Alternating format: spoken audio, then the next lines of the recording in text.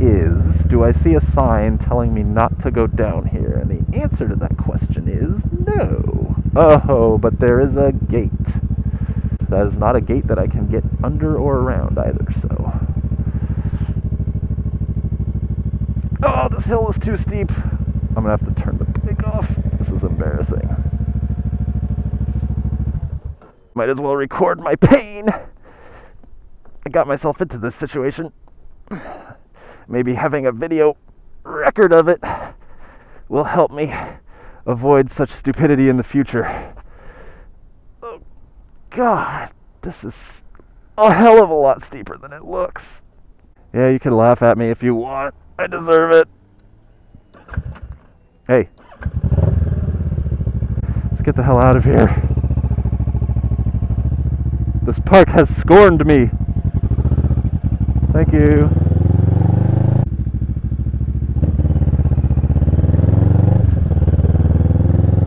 Signal your intent, lady.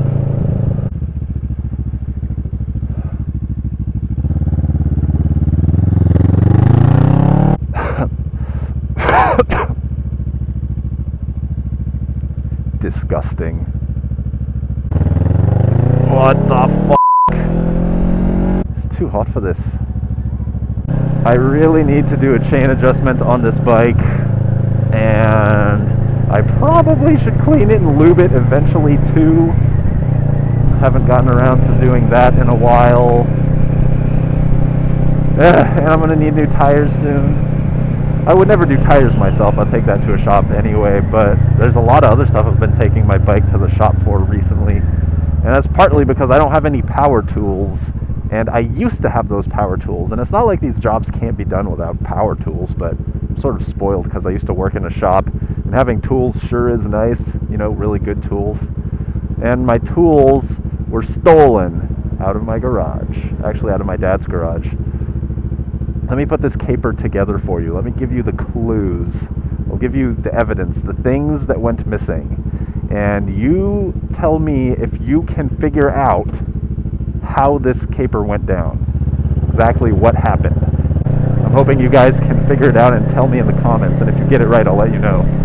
So, what happened was, unfortunately, what happened was, uh, I, have, I was keeping my tools at my dad's house because I had lost my job as a uh, BMW tech.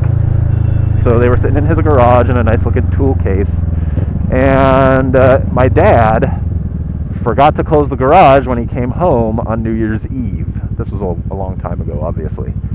But he forgot to close the garage, so the garage was wide open. And the next morning, the things we found to be missing were all of my tools, one super huge piece of rolling luggage, and one bicycle. So, anyway, that was a huge, huge, huge, massive amount of money's worth of very expensive shop quality power tools that just got, you know, taken away. And normally, your homeowner's insurance would cover that, you know, if they were stolen, but they have to be stolen in a, you know, someone has to break into your house and steal your stuff, or homeowner's insurance won't cover it. So, unfortunately, since my dad left the garage door open and the, the homeowner's insurance company discovered that he left it open, that ended up being my dad's fault. They don't consider it the thief's fault at that point. How rich is that?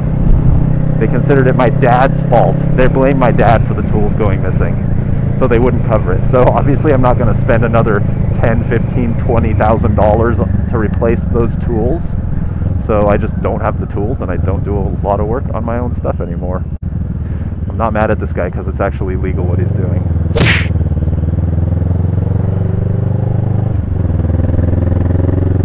You know, you guys can all be haters as much as you want.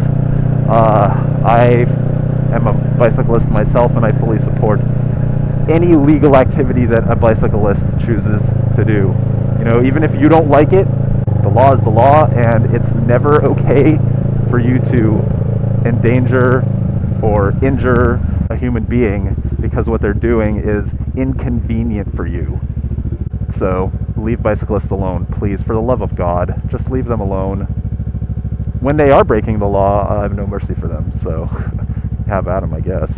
But you know, when they are obeying the law, even if you don't like the law, that doesn't just open up the right for you to kill them. Which apparently is news to some people. A surprisingly large number of people.